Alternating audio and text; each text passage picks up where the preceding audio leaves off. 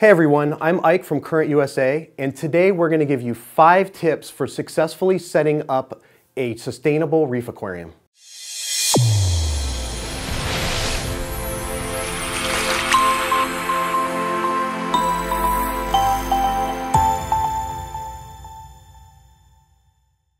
Most aquarium hobbyists really care about the environment and understands the importance of aquaculture within the marine aquarium industry.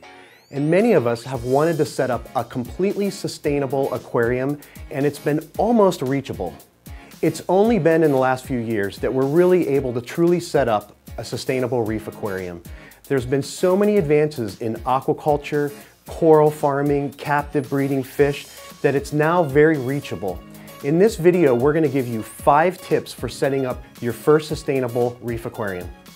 Tip number one, Use eco-friendly reef rock and substrate versus live rock from the ocean. While many sustainable options of live rock have been available to hobbyists, it's only been in the last few years that a truly sustainable, 100% eco-friendly alternative has been available to us. There are now over five types of eco-friendly rock available to aquarium hobbyists, but real reef rock is still one of the favorites.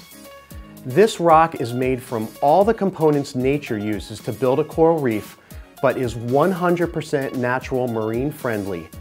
It's made here in Southern California, and real reef rock looks like typical live rock you would get from the ocean with coralline algae already on it. It's available in multiple shapes and sizes. They even have a branching type of rock that can be used to set up theme tanks or create unique aquascapes. Real Reef also offers a sustainable type of aragonite for your substrate, so we highly suggest you check out more information by following the link below.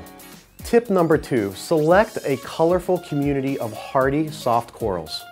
When selecting corals for your sustainable reef, we recommend you begin with some of the hardy, easier to keep soft corals and LPS corals, then slowly move into SPS corals. Most softies and LPS corals also add the element of movement to any reef aquarium, and there are many species available that are completely sustainable and captive raised. Some of our favorite soft and LPS corals include zoanthid polyps, xenia polyps, green star polyps, and euphyllia corals including torch, hammer, and frog spawn corals. Tip number three, research and select a community of captive bred fish. It's now completely possible to get a whole variety of incredible looking captive bred fish for your reef aquarium. And with the advances our industry makes every year, more and more species are becoming available to us. But when you're selecting the fish for your reef aquarium, you're going to want to make sure that you select fish for each zone in the tank itself. For the top and middle zone of your tank, you'll want some fish that are active and don't hide a lot. Two highly recommended captive bred species are clownfish and cardinalfish. Clownfish are now available in an incredible variety of colors and patterns and will likely be the most active fish in your aquarium. Cardinalfish are also a great fish to add for this zone of your reef. In the middle and lower columns, dottybacks, gobies, and blennies are all readily captive bred and will add incredible color and personality to your reef. If you want more information on what captive bred fish are best for your aquarium, check out our video on the top five fish for sustainable reef aquariums. Tip number four, use a sustainable cleaner crew. A reef's cleaner crew works all day and night to keep your aquarium clean. It usually consists of snails, crabs, shrimps, urchins, many types of inverts, and all they do all day long is look for food, clean, eat uneaten food, and most importantly, they clean up algae in your tank. So if you need a cleanup crew or you're wanting that cleanup crew for your sustainable reef aquarium, make sure everything's been aquacultured. Trochus snails are now captive bred and are one of the best algae eaters you can get for your aquarium. They have voracious appetites and will clean algae from rocks, substrates, and the glass panels of your aquarium.